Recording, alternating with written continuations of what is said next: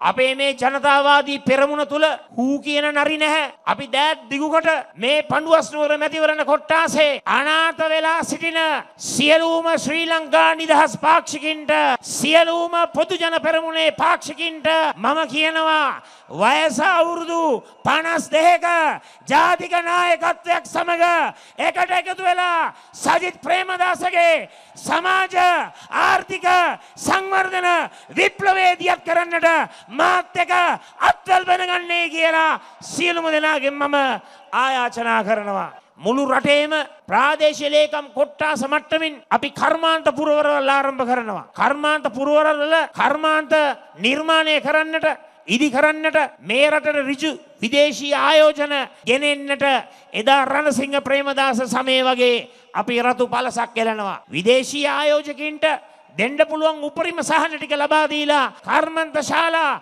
විශාල ප්‍රමාණයක් ආරම්භ කරලා ගමේ නගරේ ජීවත්වන යවුන් පරපුරට ගමේම ඉඳගෙන රැකියා කිරීමේ අවස්ථාව අපි නිර්මාණය කරනවයි කියලා මම තමුන්නාන්සලට කියන්න කැමති.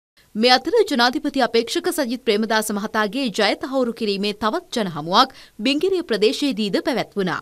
මැති ඇමතිවරුන් ඇතුළු විශාල පිරිසක් ඊටද එක්ව සිටියා.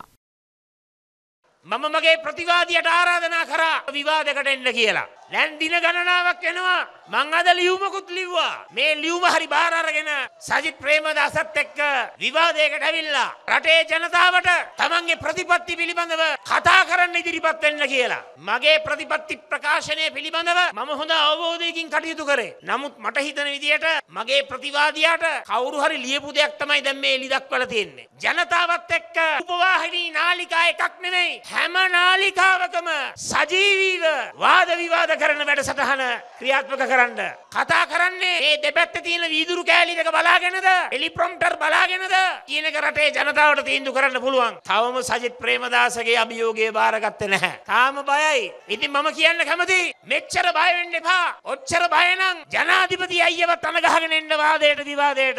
මම ලෑස්තිමු දෙන්නටම මූණ දෙන්න. ඒත් මදිනම් කතානායක අයියවත් ගෙන්නන්න. ඒත් මදිනම් අපේ බැසිල් රාජපක්ෂ මැතිතුමාත් ගෙන්නන්න. ඒත් මදිනම් නාමල් රාජපක්ෂ මැතිතුමාත් ගෙන්නන්න. මන් ලෑස්ති ඒ හැමෝමත් එක්ක තනියම වාද විවාද කරන්න.